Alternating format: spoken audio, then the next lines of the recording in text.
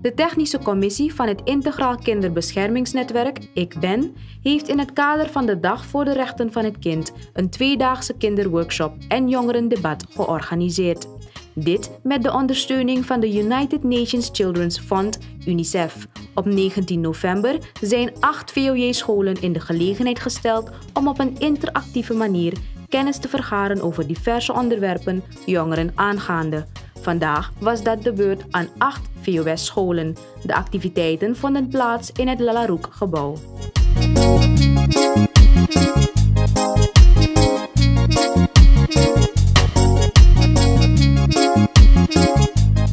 We hebben gekozen voor dit jaar uh, het, in verband met het kinderrechtenverdrag een workshop te organiseren om diverse actuele uh, onderwerpen jongeren aangaande uh, te bespreken.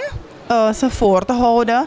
En natuurlijk um, willen wij ook van hun leren van uh, wat speelt er in zich om, wat gebeurt er met hun als ze bepaalde onderwerpen horen. Uh, en ook zien in hun naaste omgeving.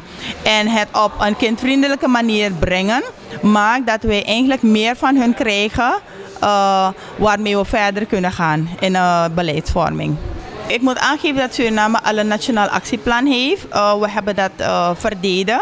En nu is het tijd dat de aanbevelingen die we toen hebben gehad, uh, we moeten gaan uitwerken. Er zijn een aantal zaken voorgehouden waaraan we gaan moeten werken. En één daarvan is dat we een integraal kinderbeschermingsnetwerk moesten hebben. Dat hebben we al, waarbij alle ministers, eveneens de First Lady van de Republiek Suriname, zich eraan heeft gecommitteerd. Dat we met z'n allen ons beleid dusdanig zullen gaan uitvoeren, uh, formuleren, monitoren en evalueren in het belang van kinderen en jongeren van Suriname. Daarnaast um, houden we op gezette tijden dataverzameling, omdat um, je data steeds verandert. Om uiteindelijk wel een goed, goede uitspraak te kunnen doen, is dus die dataverzameling heel erg belangrijk. We moeten steeds gaan rapporteren van uh, wat er op diverse gebieden uh, is uitgevoerd en waaraan er nog dus moet worden gewerkt. Al met al moet ik wel zeggen dat uh, ik mag constateren dat er heel veel wordt gedaan in het kader van kinderen, ten behoeve van kinderen. En uh, we weten dat dat nog niet uh, genoeg is. Dus we gaan ervoor dat we steeds meer ons gaan focussen op het jonge kind omdat zij straks Suriname moeten gaan overnemen. Met de resultaten, zoals ik dat al eerder aangaf, zullen wij ons beleid gaan moeten gaan verscherpen. Er zullen natuurlijk zeker zaken naar voren komen waaraan wij bijvoorbeeld niet hebben gedacht. Of hebben gedacht, maar je hebt niet de juiste oplossingsmodellen. En als je het dus van de jongeren krijgt, kun je met hun gedachten gaan en hun ideeën verder gaan om jouw beleid te gaan verscherpen. Om uiteindelijk wel die positieve resultaten te kunnen bereiken. Ik ben Levan Kabenda. Ik, ben, ik zit op de AT Kalerschool. Welk thema heb je uh, vandaag gehad?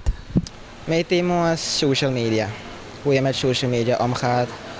Um, wat je post, negatieve kanten, positieve kanten. Wat heb je geleerd en wat heb je echt vastgehouden? Um, social, um, bepaalde dingen wat je post hebben effect op je latere leven. Wat je, bijvoorbeeld als je een baan gaat zoeken en je hebt iets verkeerd, ge, um, verkeerd gepost um, in je jongere jaren. En uh, wanneer je een baan gaat zoeken, gaan ze naar je dingen kijken en dan zien ze van hé, hey, je hebt zoiets gepost. Dan gaan ze denken van je achtergrond is dingen. Dus ja, en de positieve kant is van je kan goede informatie vinden online, op social media, op Facebook. Um, ja, dus dat. Welke boodschap heb je voor de jongeren als jijzelf? Um, social media is goed, maar besteed meer tijd op je studie. Ik ben Douglas Alteramona en ik zit op de AT Kalerschool. Jullie hebben net de workshop achter de rug. Welk thema had je? Empowerment Motivation. Hoe heb je de workshop ervaren? Nou ja, als ik zo kijk, Empowerment Motivation was ik, ik was al gemotiveerd, maar nu ik het, die workshop heb gevallen, ben ik meer gemotiveerd. Wat zijn de zaken, kan je ze listen, de zaken die je zeker meeneemt? Um, motiverend, onder, over het motiverend onderwerp Nou ja, ik ben gemotiveerd, dus ik ga haardoor. Ik ga verder met mijn studie. Want ze hadden het daarvoor, eh, daarover, ze hadden het over de studie, dus ik richt me meer daarop, op mijn studie. Mijn naam is Jomar Marman en ik zit op de WSR Rietveld School. Welk thema heb je vandaag? Um, vandaag moet ik praten over social media. Hoe vind je het, hoe ervaar je het om over social media eh, te praten? Een workshop te hebben over social media? Mm, ik vind het vooral voor ons als jongeren uh, heel leerrijk, vooral hoe, we zo, uh, hoe social media veel invloed heeft op ons leven als jeugd vooral. Ik vind het leerrijk en belangrijk dat we bepaalde dingen weten. En daar heb ik geleerd dat je, je moet letten op je gebruik, beperk het. Dus niet te veel op social media zijn en weet wanneer je kijkt, weet wat je opzoekt. Ik vind de workshop heel interessant. Um, je kan heel veel uit leren. En ik vind dat het elk jaar gedaan kan worden. Zodat we gestimuleerd kunnen worden. Wat mij is bijgebleven dat je bepaalde drugs hebt waarvan je misschien zelf niet weet dat in een soort um, tablet misschien zit of een snoepje. Dus dat is me wel bijgebleven. Ik heb geleerd wat empowerment is. Wat, ja, moet, wat, ik heb meer geleerd over motivatie. Ja, dat is zo'n beetje. Wat heb je allemaal geleerd? Um, hoe, waarover het ging, wat, um, wat kinderen meningen zijn, hoe ze vinden dat het gestopt kan worden.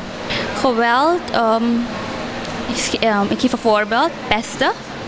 Pesten is ook een soort van geweld. En hoe moet men met pesten omgaan?